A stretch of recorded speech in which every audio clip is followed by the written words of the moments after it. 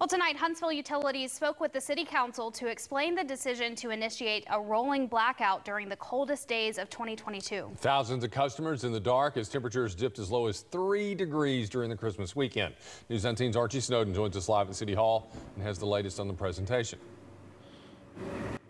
Well, Greg and Emily asking folks to cut down on power and heat during one of the coldest days of the year nearly backfired on Huntsville Utilities, but temporarily cutting power is what a rolling blackout was designed to do. Now, according to Huntsville Utilities CEO Wes Kelley, the reason for the blackout was a high demand for power on and on Saturday, December 24th at 5 a.m., TVA called for a 5% reduction load.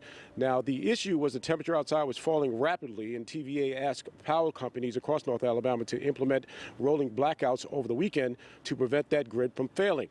Up to 127,000 customers were impacted by the blackout, which Kelley says also was related in part to pipes bursting in homes and businesses. Kelley explained that the city to City Council that there was much concern entering the Step 50 of TVA's load curtailment program, which he adds was a first ever. It's also the first time in nearly a century that North Alabama, in North Alabama, that a rolling blackout had to be implemented. Because it was the first time it was done, uh, it did take some time to get ourselves put together, but the team responded very quickly, and you saw that efficiency implemented on Saturday when the rolling blackouts were implemented. And indeed, with the future improvements that we will make, I have no doubt about our ability to continue to meet whatever responsibilities we have to meet to keep our regional grid stable.